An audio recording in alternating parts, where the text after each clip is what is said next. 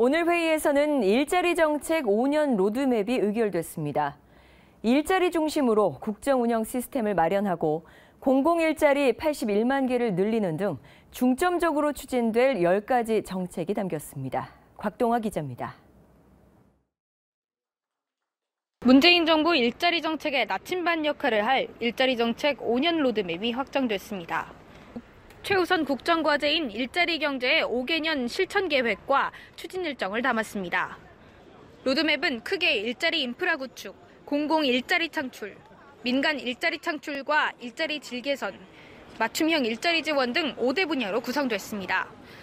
고용 영향 평가를 강화하고 일자리 예산을 확대하는 등 국정 운영 시스템이 일자리 중심으로 재설계됩니다. 공공일자리 창출 분야엔 공공부문 81만 명을 확충하기 위한 세부 계획이 담겼습니다. 올해부터 보육과 요양 등 수요가 많고 시급한 사회 서비스 분야에서 17만 명을 우선 충원하고 경찰, 생활안전 등 분야에서 34만여 명을 채용합니다.